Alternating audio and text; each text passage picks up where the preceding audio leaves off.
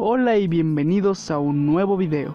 Yo soy Cristo24 y como ya vieron en el título del video, en esta ocasión les traigo el especial de Halloween de este año. El Halloween es una de mis festividades favoritas de todo el año y es por eso que no podía dejar pasar este año sin hacer un especial. Lo que se me ocurrió para este año es hacer un top 5 de cosas que me daban miedo de los videojuegos cuando era niño. En este video no van a ver juegos de terror, ya que su propósito es causar miedo, sino más bien pequeñas cosas de juegos que no tenían nada que ver de terror que me asustaban de niño. Tal vez muchas cosas que verán en este video les parezca una completa tontería porque de hecho lo son, incluso ya no me dan miedo, obviamente, pero pues ya saben que uno cuando es niño le dan miedo muchas cosas. Y estoy seguro que todos los que están viendo este video también tienen esa lista de cosas que les asustaba cuando eran niños. Así que habiendo dicho esto, comencemos. Iniciamos este video con algo leve, la mansión Big Bus Hunt de Super Mario 64. El especial de Halloween del año pasado fue de hecho un mini análisis a este nivel, el cual no recomiendo mucho que vayas a ver si solo si tienes curiosidad ya que no es de mis mejores videos. En este video no voy a hablar de todo lo que tiene, solamente voy a hablar acerca de lo que a mí me daba miedo y algunas anécdotas de cuando era niño. Para empezar, la primera vez que entré al nivel no es algo que me haya asustado. La primera impresión no fue tan grande. Lo que me fue asustando poco a poco fue la canción, la canción de Big Bus Hunt. Esta canción es única en todo Super Mario 64, ya que solamente suena en este nivel. Y pues sí hay un gran contraste entre las canciones que habías escuchado en otros niveles y la de esta. Y la verdad, sí me imagino esta canción en algún lugar oscuro y yo aún sentiría bastante miedo. Pero bueno, era un niño, digo, cuando era un niño incluso la canción de Hazy Maze Cave me daba miedo, ya desde ahí empezamos mal. Y ya mejor ni hablamos de la canción del área del sótano. Esa canción de carrusel me aterraba cuando era un niño. Jamás conseguí esta estrella porque no iba a estar ahí más de 5 segundos. Otra cosa que me daba miedo era el fondo, ya que mientras en otros niveles, o mejor dicho, el chiste de Mario 64 es sentir la libertad que no había sentido en otro Mario o en algún otro juego, en este te sientes realmente encerrado me daba mucho miedo estar afuera de la mansión, yo siempre estaba adentro. Y cómo olvidar al maldito piano. Este piano, todos tenemos una historia con este piano. Te acercas, te empieza a ladrar y tú nunca te lo esperabas. Fuera de eso no hay ningún otro elemento que realmente me asustara. Los bus, digo, no es algo que me vaya a dar miedo ya que ya los conocía en otros juegos. Las arañas ni nada de eso me asustaba. Así que cuando era niño sí llegué a entrar a este nivel a conseguir un par de estrellas, pero aún así me aterraba hacerlo. Y por eso está en el puesto número 5, ya que incluso cuando era niño sí llegué a superar este temor solo para conseguir estrellas, y ya cuando fui más grande me lo pude acabar al 100%. Así que puesto número 5 para la mansión de bus de Super Mario 64.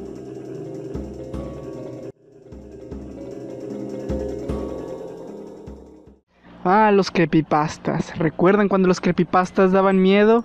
Pues yo tampoco, pero hubo un tiempo en el que parecían más creíbles. O eso parecía ya que realmente solo era porque vivíamos en nuestra ignorancia y no nos interesaba investigar las fuentes. Eso en aquellos años del 2006 y 2010 en los que comenzaba a popularizarse el Internet. En mi caso creo que entré al Internet en el año 2008-2009.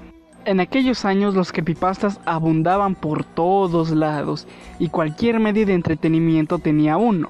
El suicidio de Calamardo, los creepypastas de los Simpson, vaya, hasta algo tan irrelevante para nuestras vidas en aquellos tiempos como Hello Kitty tenía un creepypasta. La cosa es que siempre fui un poco ajeno a este tipo de contenido, en gran parte porque soy un miedoso pero también no me atraía, simplemente no quería saber nada de ellos, ya que muy dentro de mí sabía que todo este contenido era falso, o bueno, al menos hasta hace poco. Pero con Pokémon ocurrió algo diferente, ya que Mientras aún estaba entrando a este mundo me daban muchas ganas de investigar todo sobre él. Y en esa investigación me topé con una página repleta de creepypastas de Pokémon. Recuerdo que me pasé horas y horas leyendo creepypastas de Pokémon y debo admitir que me daban bastante miedo ya que en aquel entonces creí que estaban tan bien redactados que los tomé como verdaderos. ¿Cuáles leí? Pues los más básicos que todos conocemos. El Rey Unknown, Pokémon Lost Silver, el Síndrome de Pueblo Lavanda, los 151 cartuchos malditos, Pokémon Black Ghost, el Zombie de Pueblo Lavanda junto con la Mano Blanca, el creepypasta de Cubone, el de Tangela, el de Hypno, aunque este sí tiene sus fundamentos, pero hubo dos en específico que causaron más impacto en mí. Uno de ellos era el de Hellbell, el Bronzong maldito. Este sí me llegó a perturbar un poco, ya que, oye, pobre tipo al que le robaron el alma. Y el otro fue el creepypasta del Pokerus, y este sí causó un gran impacto en mí, ya que incluso hasta el día de hoy jamás tengo un Pokémon con Pokerus. Bueno, en gran parte es porque jamás me ha salido uno a mí mismo, solamente los que intercambio por la GTS, pero aún así inmediatamente los devuelvo. Suena tonto y de hecho lo es, pero aún así siempre que veo el símbolo del Pokerus no puedo sentirme muy cómodo usando ese Pokémon, y más porque este contagia a los demás. De hecho, durante algún tiempo me pregunté cómo es que la franquicia de Pokémon seguía viva después de tanta controversia en especial por lo de los 151 cartuchos. Pero eso jamás te lo dicen los creepypastas. Puesto número 4 para los creepypastas de Pokémon. Ah, y si en algún momento compran un juego usado de Pokémon que está escrito con tinta roja, jueguenlo, que podría salir mal. Partir de aquí comienzan los puestos un poco más personales, ya que mientras que los anteriores eran algo comunes, es decir, una casa embrujada o leyendas urbanas de internet, ahora sí son un poco más raras. Y la mejor manera de mostrar esto es con el puesto número 3. Uno de mis primeros juegos, si no es que el primero, fue uno llamado Inte Hunt para el PlayStation 1. Era de los pocos juegos que teníamos, así que lo jugábamos diariamente. Como pueden ver, el juego tiene cierto parecido con Metal Slug, pero lo cierto es que es al revés. Metal Slug tiene parecido a este juego, ya que fue hecho por la misma desarrolladora, pero antes. La diferencia principal entre Metal Slug y este juego es que en este controlas un submarino, el cual debe enfrentarse a otros barcos, submarinos, aviones y máquinas de guerra. El juego destaca mucho por sus jefes, ya que siempre que recuerdo este juego me acuerdo cuando yo y mi hermano peleábamos contra ellos, como un submarino robot gigante o un tren o una nave rara que aventaba rayos. Este juego originalmente era para arcades, pero después recibió support para PlayStation 1. No estoy seguro de esto, pero yo recuerdo que la versión de PlayStation 1 no tenía todos los jefes del juego original. Esto lo sé porque años después, ya cuando entré al internet, pude encontrar un emulador del juego, en el cual pude pelear con otros jefes que nunca había visto, entre ellos el jefe final del juego, el cual es una especie de submarino gigante, una batalla muy épica y muy larga. Pero en la versión de PlayStation 1 el jefe final era diferente, era el jefe que estaba antes de la batalla final, en la versión de arcade. Esta cosa, este, que parece ser un golem gigante de piedra, fue mi trauma cuando era niño. Simplemente cuando empezaba el nivel yo soltaba el control, no podía ni siquiera empezarlo. Le pasaba el control inmediatamente a mi tía o a mi mamá. Pero oigan, ¿cómo diablos no iba a tener miedo? Ya que en todos los niveles el chiste es avanzar horizontalmente pero en este tienes que ir verticalmente porque esta cosa de aquí está desde el comienzo y te está persiguiendo. Por lo que todo el nivel es una persecución horizontal hacia arriba de esta cosa. Y a eso súmale de que todo el nivel está infestado de otros enemigos normales. No es solamente la batalla contra el jefe. Ah, y además durante toda la persecución el jefe es inmortal, no tiene hitbox de daño. El chiste de este nivel es avanzar hacia arriba para llegar a un tope en el que ya no puedes escapar. Es ahí donde comienza la verdadera batalla. Lo que tienes que hacer en esta batalla es evitar unos pilares que están arriba de ti. Estos caerán sobre el jefe y le harán daño. No suena tan difícil ni tan perturbador hasta que le hace cierto daño y le rompe su cabeza y este por alguna razón empieza a emanar ojos de su cuerpo. ¿Por qué? No tengo idea. Ahora ven por qué a esta cosa le tenía tanto miedo cuando era niño. Es simplemente aterrador y mucho más para un niño. Como les dije antes, este fue de mis primeros videojuegos, por lo que esto yo lo jugaba cuando tenía 3 o 4 años, por lo que es comprensible el por qué le tenía miedo a esto. Afortunadamente, ya años después, cuando pude encontrar el emulador, le pude dar una paliza a este tipo y finalmente superar mi temor cuando era niño. Y es por eso que está en el puesto número 3. Y ya de pasada pude tener esa épica batalla con el verdadero jefe final, la cual es asombrosa puesto número 3 para el golem gigante de Inte Hunt.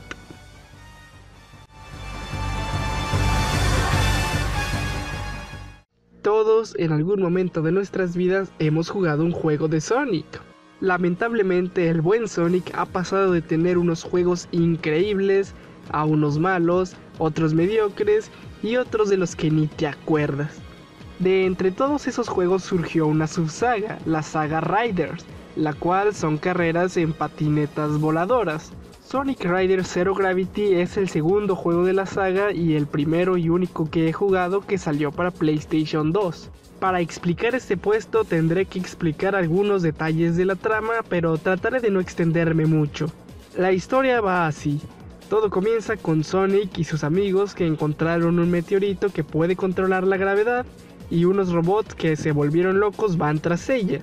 Después descubrirían que existen cinco meteoritos y que los cinco juntos son capaces de crear una fuerza gravitacional increíble. Como en la gran mayoría de juegos de Sonic, este juego se divide en dos historias, una de héroes y la otra de villanos. La de los héroes termina bien, simplemente salvan el mundo, se despiden y créditos. Es algo muy simple. Pero la de los villanos tiene algo más allá de eso. Resulta que el líder de los robots malvados logra obtener los 5 meteoritos y con esta crea una fuerza gravitacional tan poderosa que crea un agujero negro. Debido a esto el robot sufre una transformación la cual es conocida como Master Core Abyss. Y esta cosa, esta cosa fue mi pesadilla cuando era niño. ¿Por dónde empiezo? Para empezar su diseño es completamente aterrador. En la versión de Wii este tiene cubierta la cabeza pero en la versión de PlayStation 2 no. Esto es una censura, lo cual nos quiere decir que evidentemente algo andaba mal con el diseño de PlayStation 2. En la parte de la cabeza alrededor de su ojo, este tiene una especie de cables que sobresalen debido a su transformación. Pero cuando yo era niño esta parte de aquí me daba mucho miedo porque pensé que era como su cerebro o algo así la música del nivel no me ayudaba para nada cuando era niño porque esto es algo así como una épica batalla final, por lo que la música solamente me hacía poner más nervioso. O sea, sí, la música también me daba miedo. Pero yo creo que lo que más me asustaba de esta cosa eran los gritos que éste hacía, ya que recuerdo que la primera vez que los escuché yo no pude aguantarlo, simplemente me fui corriendo de ahí y mi hermano se quedó jugando. En serio, esos gritos que producía me aterraron cuando era niño, entraron profundamente en mi cerebro. Y afortunadamente haciendo este video me di cuenta de que no era el único, hay otros a los que también le pasó. Eso me hace sentir mejor de cierta forma. Ah, y a eso súmale que cuando mi hermano jugó esta pista no entendíamos qué era lo que teníamos que hacer para ganar. El contador de las vueltas no avanzaba, por lo que para nosotros esto era como la pista imposible de pasar. Debido a esto quitamos el modo historia y tuvimos que conformarnos con lo que habíamos desbloqueado hasta ese entonces. Tiempo después mi hermano y yo estábamos decididos a acabar el juego y lo logramos. Con miedo y todo yo logré estar ahí cuando mi hermano terminó la carrera. Desbloqueamos tanto contenido y estábamos tan emocionados que el juego se terminó congelando en la pantalla de cargando. El juego ya de por sí había presentado errores antes, ya que algunas escenas de Babylon nunca las vimos porque se trababan. Y esto nos decepcionó tanto que ya nunca volvimos a completar el modo historia de Babylon. Y antes de que lo digan, no, en ese entonces no teníamos memoria card, por lo que todo lo que habíamos hecho en ese entonces se perdió para siempre. En estos momentos el PlayStation 2 ya no sirve, y eso es muy triste porque ahora sí tenemos una memoria card y esta vez yo quiero ser quien le dé una paliza a este tipo, pero ya no tengo dónde jugarlo, así que se quedará por siempre como un trauma que no he podido superar. Es por esto que, puesto número 2 para Master Core Abyss de Sonic Rider Zero Gravity.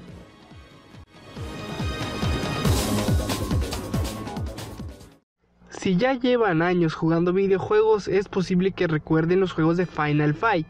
Si es así, felicidades porque yo soy muy joven y no los jugué. Pero sí jugué el intento de llevar esta saga al 3D para PlayStation 2, Final Fight Streetwise. Este juego me gustaba mucho de niño, pero ya después descubrí que está considerado como un mal juego, y realmente puedo entender por qué. Pero bueno, dejando eso de lado hay que ir a lo que nos importa, y para explicar qué era lo que me daba miedo de niño, pues tendría que explicar algunos detalles de la trama. Necesito ponerlos en contexto, así que obviamente esto va a tener spoilers. Así que si no quieres spoilers de un mal juego de hace 13 años, sal del video. Pero no vale la pena, si no has jugado este juego a este punto, nunca lo vas a hacer. La historia va así. Básicamente, Cody, el protagonista de los primeros juegos, fue secuestrado y su hermano Kyle deberá encontrarlo. Bastante sencillo. Los enemigos en los primeros niveles son bastante sencillos, son una especie de pandilleros que tienen armas típicas como navajas y bats de béisbol. Llegado a cierto punto del juego logras encontrar el edificio donde se encuentra el tipo que secuestró a Cody así que te infiltras en él. Ahí hay enemigos más peligrosos como hombres de traje con pistolas y perros guardianes. Y... Eh, zombies. Sí, zombies. Por alguna razón, llegado a cierto piso del edificio, hay zombies. ¿Por qué? No tengo idea. ¿Qué les puedo decir? Cuando era niño jamás entendí la historia de este juego, ya que estaba en inglés y los subtítulos también estaban en inglés por alguna razón. Es uno de los plot twists más raros que he visto en un videojuego y se pone todavía peor. Entonces ustedes pensarán, ¿son los zombies los que te daban miedo? Pues sí y no. Estos zombies cuando los golpeabas y los matabas daban unos gritos aterradores, pero no me daban miedo, simplemente seguí jugando. Una vez que sobrepasas a los zombies, llegas con el jefe, el cual es el tipo que secuestró Cody, lo asesinas tirándolo por un precipicio, pero no hay rastros de él, así que el juego continúa. Después pasarían cosas muchísimo más extrañas, pero para no hacer tan largo el cuento, después de cierto punto en el juego empezaría una especie de apocalipsis zombie. Es aquí donde logras infiltrarte a un laboratorio secreto donde se encuentra una doctora que aparentemente creó la droga que hace a los zombies. Esta se encuentra con el cadáver de Steve, el tipo que arrojamos del edificio que secuestró a Cody. Y es aquí donde empieza lo feo. Resulta que la droga es capaz de revivir al cuerpo de Steve pero en una versión mutada, monstruosa de él mismo llamada Steve Death. Entonces el tipo despierta, se come una rata e inmediatamente comienza la pelea. Desde que comenzó la pelea estaba temblando, mis piernas temblaban y yo lo único que estaba haciendo era huir de él en el juego. Ah, por cierto, en esta ocasión no estaba jugando con mi hermano, estaba jugando yo solo. Cuando era niño su apariencia me resultaba horrible, le tenía un miedo enorme. Y a eso más aparte, esta es la primera vez que te topas con un enemigo que tiene una barra diferente a la tuya. Esto también me generó un gran impacto. Aún así me armé de valor y decidí confrontarlo. Pero el tipo tiene poderes que nunca habías visto en todo el juego. Puede lanzar pinchos, puede lanzar electricidad y sus golpes hacen mucho daño por lo que me terminó matando. En la siguiente ronda estaba siendo más precavido y estaba funcionando ya que le estaba haciendo más daño que la vez anterior. Pero después de que le hice cierto daño, empezó a destruir cajas, salían ratas, las agarraba, se las comía y se curaba la vida. Cuando vi que se empezó a curar la vida yo dije, a este tipo nunca le voy a ganar, e inmediatamente apagué la consola. Como dije, estaba temblando. Una vez que apagué la consola no sabía ni qué ver ni qué hacer para que se me quitara el pensamiento de la mente. Tanto miedo le tenía que jamás le dije a mi hermano que llegué a este punto, ya que antes mi hermano y yo jugábamos los juegos juntos para saber la historia juntos. Pero jamás le dije que llegué a este punto porque no quería que él lo intentara. Traté de esconder este hecho por mucho tiempo. Afortunadamente fue muy fácil porque después nos llegó el juego de Dragon Ball y mi hermano ya estaba más interesado en jugar ese que este y desde ese entonces jamás volví a tocar el juego. Básicamente porque a diferencia de Sonic no había nada que hacer en el juego si no era la historia. Tenía otro modo pero no estaba tan chido. Es por eso que este es el puesto número uno, porque ningún otro juego en la historia de mi vida ha logrado asustarme tanto como para no volver a tocarlo. Lo triste es que jamás supe cómo terminaba la historia. Haciendo este video me di cuenta de otras cosas, como que si aún se hubiera vencido este jefe, después me hubiera traumado mucho más, ya que aparecen criaturas más horribles, como Pestilencia, la cual creo que es la más grotesca de todo el juego. A esta edad yo sigo muy interesado en saber qué es lo que pasa después y me gustaría volver a jugar el juego y por fin acabarlo, pero como dije antes, el PlayStation 2 ya no sirve y ya no tengo forma de jugar estos juegos. Así que lamentablemente este se tendrá que quedar como otro miedo que no he superado, ya que a pesar de que ya no me da miedo, no podré decir que realmente lo confronté hasta no haberlo vencido. Espero algún día conseguir otro PlayStation 2 para por fin acabarme estos dos juegos. Puesto número 1 para Steve Dead de Final Fight Street Twice.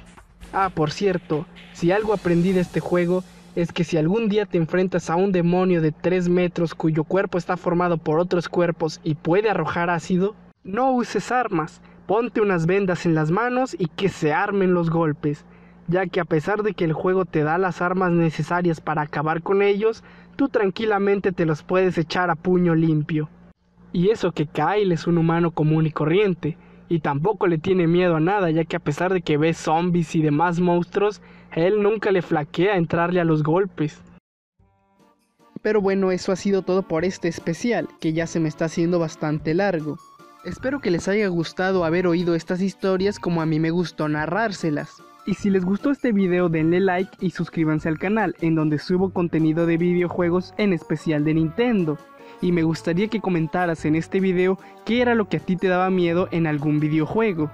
No importa si es una razón tonta o sientes que es muy vergonzosa, la verdad es que yo siento que estas que conté son demasiado tontas. Antes de terminar el video me gustaría hablar acerca de sobre futuros videos, y es que en este momento estoy trabajando en otros cuatro. Todos estos videos ya están empezados, por lo que me gustaría decir que llegarían pronto, pero la cosa es que ya entramos en las últimas semanas del semestre. Y si ya de por sí antes me tardaba mucho en subir videos, en estas últimas semanas le voy a dedicar todo el tiempo que tenga disponible a hacer los proyectos de la universidad. Ya de por sí este video lo estoy subiendo con los últimos momentos libres que tengo. Pero la idea es que estos cuatro videos y otros dos más salgan antes de que termine el año. Así que espero poder y espero que les gusten mucho. Así que deseenme suerte, muchas gracias por haber visto este video y hasta la siguiente. Yo soy Cristo24.